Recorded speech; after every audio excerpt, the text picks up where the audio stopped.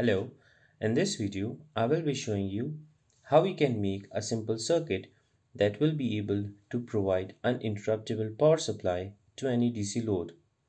Here we will be using two power sources that is a primary power source and a secondary power source. In normal conditions the primary power source will be providing power to our load and when the primary power source turns off the secondary power source will be acting as a backup for our load. In this way, we will be able to have continuous power supply for our load. The circuit that we are going to design here will be able to automatically switch between the primary and the secondary power supply so that our load may receive continuous power supply. This is the circuit diagram that we are going to follow to design the circuit. Here you can see that we have two power source. That is the primary power source is this 12 volt adapter while the secondary power source or the backup will be this 12 volt battery. Here we will be also using a DC to DC buck boost converter so that we should receive constant 12 volt output while the battery will be drained during the secondary power source operation. Here the relay will be acting a switching device that will help us to switch between the primary and the secondary power supply. Also, for this example, I will be using this Wi-Fi router as our load, but it can be replaced with any other load, for example, LED lights, LED bulb, DC motors, and so on. Let's just understand how this relay is switching between these two power sources to continuously run this load. Suppose we name this pin of the relay as A, this pin as B, this pin as C, and this pin as 1 and this pin as 2. The pin 1 and pin 2 of the relay are connected to the coil of the relay which when activated switches the pin C between pin B or pin A. Initially, when there is no power between point pin 1 and pin 2 the pin B will be connected to this pin C. And when we apply power to pin 1 and pin 2 then the pin E will be connected to this pin C. So in short this pin is named as switched or forced state which will be connected to pin C when we have power that is 12 volt at these two points and when there is no power so in normal or off state of the relay the pin B will be connected to pin C. So as we can see that this pin that is the pin C is connected to the positive of the load and the pin A is connected to the 12 volt adapter and pin B is connected to our backup power source. Also, the ground of the two sources as well as the load and the relay are shorted together. This is very important that all the grounds must be shorted together otherwise the circuit will not operate. So now we can conclude that normally when our primary power source will be operating so this will be providing 12 volt at pin A as well as pin 1 of the coil. So the relay will be switched and pin A and pin C will be shorted together. So the primary power source will be delivered to the load. When the primary power source turns off, so this relay will be switched between point B and point C so that the backup power source will be connected to our load. So that's how this simple circuit is working. Now let's just move to the designing of the circuit that is the prototype version of this circuit on the Vero board. For designing the circuit, as you can see, we only need a very few components. The first one is this DC to DC buck boost converter, but you can replace this model with any other model that suits your circuit.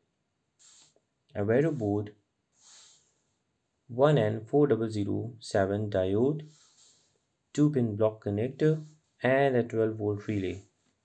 Now I am going to quickly design the circuit on this Vero board and you will be able to see it in fast forward mode.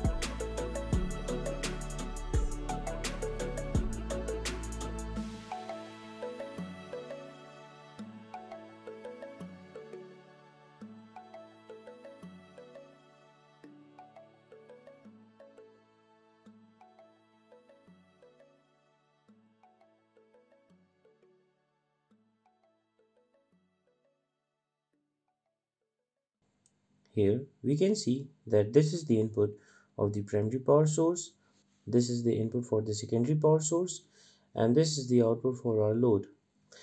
We need to ensure that the ground of the complete system is being shorted together and I have shorted here the ground of the secondary, the primary and the load all together as you can see here.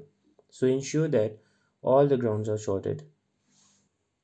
So this is the final version of the prototype and as you can see this port is for the primary input power source.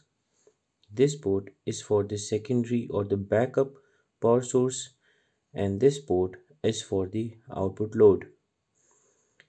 Here first of all let's see all these connections are made on the back side and there is no need to add any jumper wires on the top side.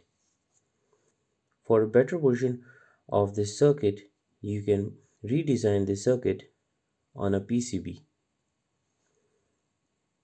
So here is our DC DC buck boost converter. We have this relay, a diode. This diode has been connected in reverse biased with the coil of this uh, relay because we know that uh, we want to avoid the high spike when this uh, primary source disconnects right? And uh, this additional capacitor has also been added uh, close to the load because uh, when the primary turns off and the secondary will be able to provide the power source there will be a slight uh, gap between the disconnection of this and the connection of this uh, within this uh, relay. So the load might just turn off for that small period of time. So i have connected uh, 2200 microfarad capacitor in parallel with the load so that during that small time period the load will be driven through this capacitor. And uh, after that when the backup will be connected to our load through this relay the capacitor will be charged again and uh, the load will be able to be driven continuously using the backup power source. Finally we are now going to uh, test this prototype version where I will be connecting a battery at this port a 12 volt power source at this port and a 12 volt load at this port. Now it's time to test this prototype of the circuit. As you can see here that I have connected the primary power source that is the 12 volt power supply. At this point the battery which will be the backup is connected at this point and our load is connected at this point. For this example, I'm using this 12 volt LED light, but it can be replaced with any DC load. If you are going to replace it with 5 volt, 7 volt, 9 volt load, then you have to change the primary power source according to your load. Also, this DC to DC buck boost converter must be tuned as per your load. Now first of all, as you can see that our primary power source and our secondary power source which is the backup both are turned off. That is why there is no output at our load. Now I am going to turn on the primary power source to see if this load is turned on or not. As you can see that as soon as I turned on the power source the LED has turned on and this LED is being driven through this relay. Now if I'm going to turn on this power source, you will be able to see that this LED will be turned off and a small switching point will be shifted at this relay.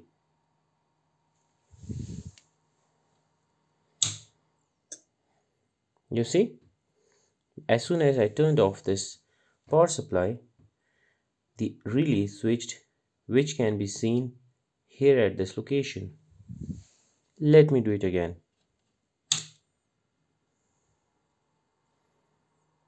Watch at this location.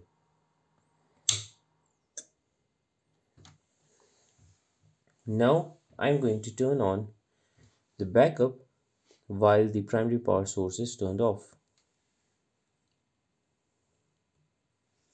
you can see that our LED has turned on and we can see that we have 0.064 ampere being drawn from this battery I'm not sure if you can uh, see it clearly or not but I think now it is visible right?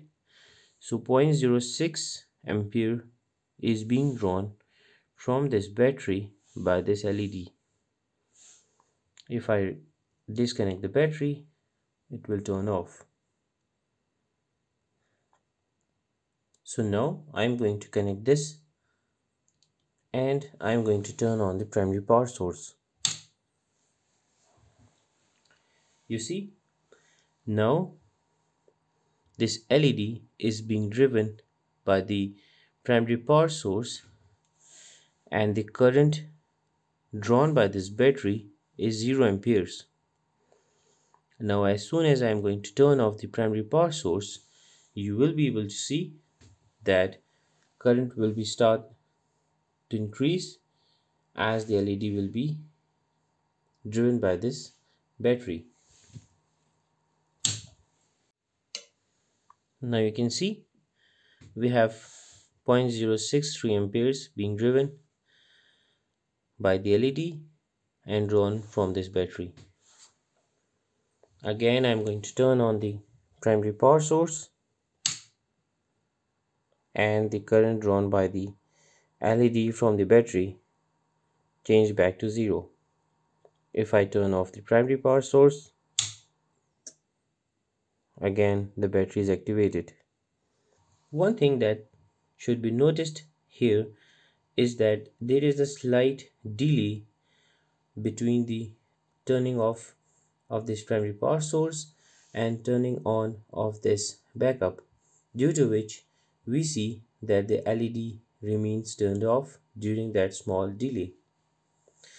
We can remove that delay if we add a higher capacitance capacitor at this location. Since I have designed this circuit for a small Wi-Fi router and it draws only a small current. That is why the delay will not impact the turning off and turning on of the sources but if you are going to change or add any load that draws high current then you must add a high capacitance at this point to ensure an uninterruptible power source. So that's all about this circuit. I hope you have enjoyed it. If you have any questions related to this circuit, you can ask me in the comment section. Thank you for watching my video. Take care. Bye bye.